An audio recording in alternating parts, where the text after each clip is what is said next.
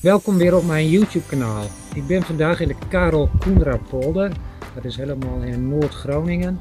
En eh, ik heb vandaag uh, deze tarwevelden uh, gefilmd. En ook met de drone weer. we gaan straks even op de, de zeedijk kijken.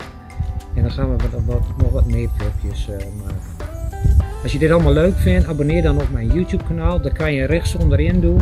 Even op abonneren drukken. En even op het belletje, dan krijg je automatisch een update als ik weer een nieuwe film heb gemaakt. Oké, laten we gaan.